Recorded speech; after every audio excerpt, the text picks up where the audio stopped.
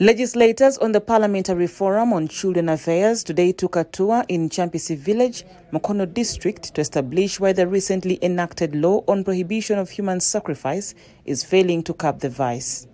The 10th Parliament passed the Prevention and Prohibition of Human Sacrifice Act 2021, which was assented to by the President in July 2021. But since then, the Act has not been enforced, leaving perpetrators to wreak havoc.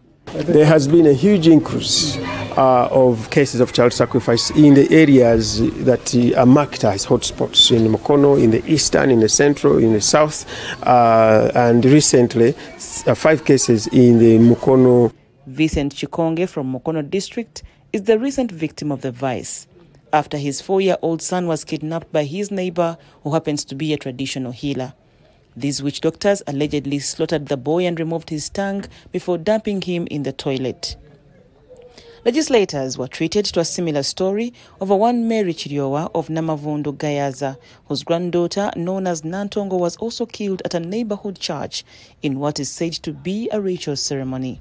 ebyaddirira neighbor ngenda okumanya nga simayi amututte mu ddwaliro and she lost herself and fainted The two stories sparked concerns from members of parliament, wondering whether government has not done enough to protect the children. Legislators called for stringent regulations on the mushrooming churches. Parents had the guts to talk, but me, I was crying. I was imagining how you take care of your child. It's not easy to raise up a child, then a human being.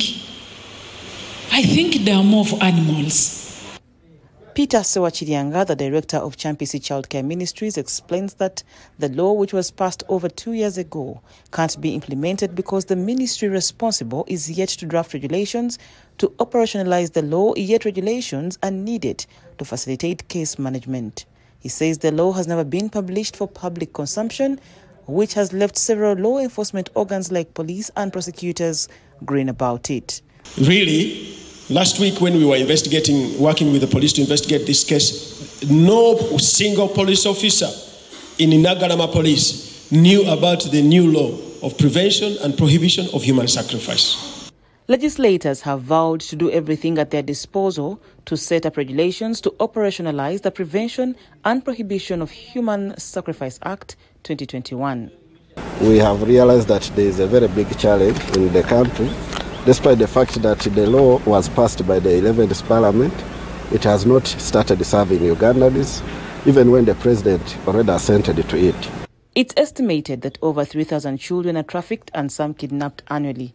Those fighting the vice of child sacrifice are also concerned with the absence of the witness protection law in the country, which is making it difficult to manage witnesses who at most times are juveniles. Report compiled by Fred Kajubi for the news.